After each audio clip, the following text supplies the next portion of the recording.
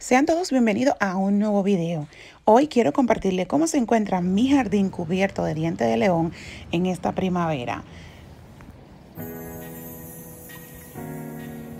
Un dato importante que quiero compartir con todos ustedes es que este hermoso paisaje o cama de dientes de león la tengo todas las primaveras. No solamente yo, sino también mis vecinos están cubiertos de esta belleza de color amarillo.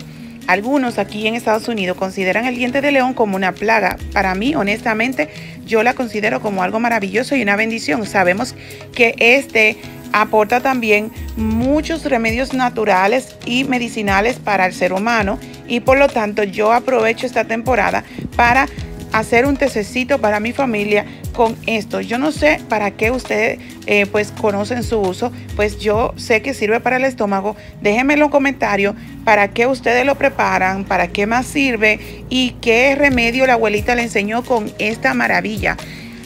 Yo por mi parte, siempre dejo que la floración del diente de león termine y luego pues damos paso al crecimiento total del césped, que es lo que inicia en primavera, ya que en invierno el césped queda totalmente quemado y ya en entrada a primavera pues comienza a renacer todo, pero primero siempre está la cama de dientes de león o este hermoso paisaje de dientes de león y luego pasa al crecimiento del césped.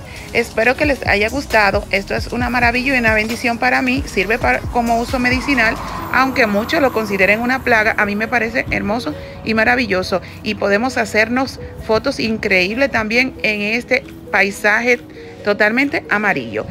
Nada, pues comenten debajo de los comentarios qué les parece, si no les gusta, si les gusta, cómo lo preparan, etcétera. Y no olviden suscribirse a mi canal para compartir un montón de cositas más desde mi jardín.